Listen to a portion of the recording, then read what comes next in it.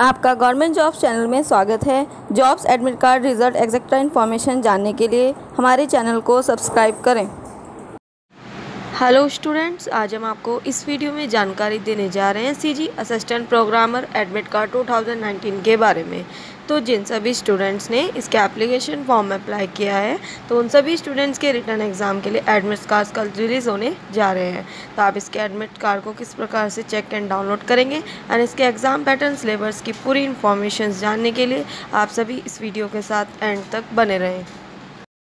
Admit card से जुड़ी पूरी जानकारी के लिए चलते हैं हमारी वेबसाइट पे गायत्री जॉब्स डॉट कॉम पर छत्तीसगढ़ प्रोफेशनल एग्जामिनेशन बोर्ड अपनी ऑफिशियल वेबसाइट पे सीजी असिस्टेंट प्रोग्राम के एडमिट कार्ड को कल रिलीज़ करने जा रहा है। तो आप सब इसके एडमिट कार्ड को हमारी वेबसाइट से डाउनलोड कर सकते हैं।